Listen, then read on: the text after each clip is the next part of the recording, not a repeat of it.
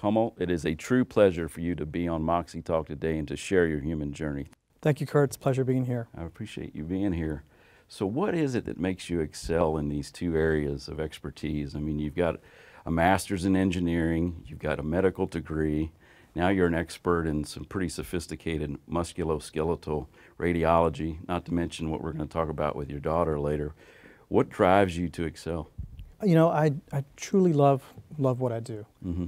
Um, I'm, a, I'm a lifelong learner, and I think that kind of drives me to initially going into engineering and then into medicine afterwards. Um, there's so much to learn in the world, Mm-hmm. and um, you know, you can only do great work if you love what you do, and if you haven't found it, you keep looking Mm-hmm. and uh, don't settle. And that's a that's a, a quote from Steve Jobs, and that's that's what he did. It's true. And um, so I think if you if you love what you do, you will always strive to be the best.